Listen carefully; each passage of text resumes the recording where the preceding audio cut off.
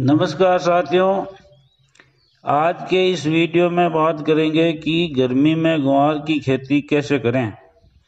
और जो ये आप देख रहे हो, ये ग्वार साथियों, गर्मी की शुरुआत में बुआई की थी, यानी 10 मार्च की ग्वार की खेती की थी।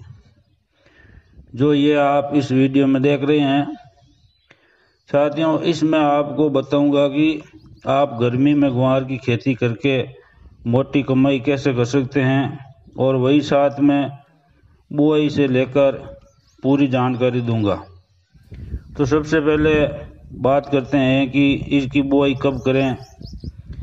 अगर आप गुआर की बुआई कतार या पंक्तियों में करते हो तो प्रति हेक्टर 12 से 15 किलो गुआर का बीज की ज़रूरत होती है साथियों।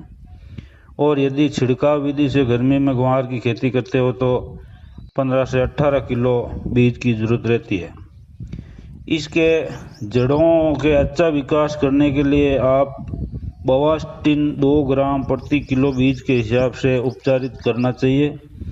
साथियों, जल्दी पकने वाली जो राजस्थान और हरियाणा के लिए उपयुक्त किस्म है, वो है एच जी तीन सौ पैंसठ। ये किस्म जल्दी पककर तैयार हो जाती है।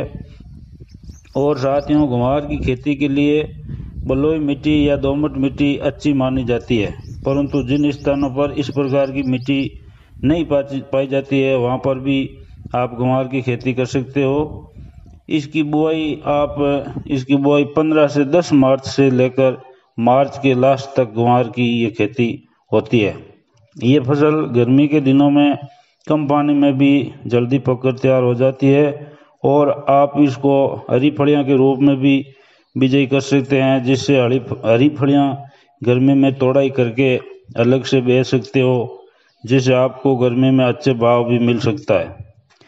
साथियों, गर्मी के गुआर की खेती में खरपतवार की बहुत भारी समस्या आती है। इस समय में खरपतवार बहुत ज़्यादा होता है। तो आप इस फ़सल में खरपतवार कम से कम होने दें, ताकि आपकी फ़सल अच्छी हो। क्योंकि खरपतवार यदि ज़्यादा होगी तो फ़सल के उत्पादन में कमी हो जाती है।